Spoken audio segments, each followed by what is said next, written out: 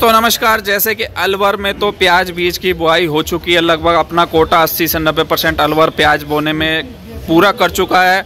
अब दोस्तों किसान आ रहे हैं हमारे यहाँ प्याज बीज का लेने। हरियाणा से किसान पहुँच रहे हैं तो किसान ने मुझे जानकारी भी दी है। आप हरियाणा से आए हो तो हरियाणा से कहाँ से आए हो? पहले तो ये जानकारी। के पास गाँव अच्छा अपना नाम और बता दें। मोहम्मद शमीम। मोहम्मद शमी मोहम्मद शमीम जी ये बताएँ अभी प्याज आपने बोना शुरू किया है या पहले भी बो दिए? पहले भी बो रखी है बीस दिन पहले एक महीना पहले अब भी बो रहे हैं जो प्याज आपने पहले बोई थी उसकी क्या स्थिति है इस समय? बहुत बढ़िया बहुत तो पहले कितनी प्याज बोई है ये भी जानकारी दे। तीन एकड़ बो चुका हूँ। तीन एकड़ बो और अभी कितना और बोना चाह रहे हो आप? दो तीन एकड़ अ, तो बीज लेने आयो हो।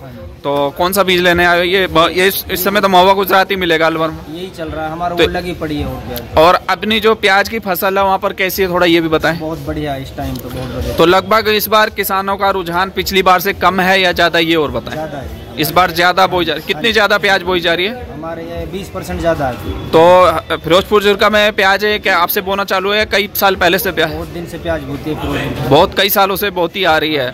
तो लगभग आपका कुछ कुछ मन जैसे प्याज बोने का कैसे कर रहा है? किस वजह से कुछ भाव की उम्मीद है या कैसे?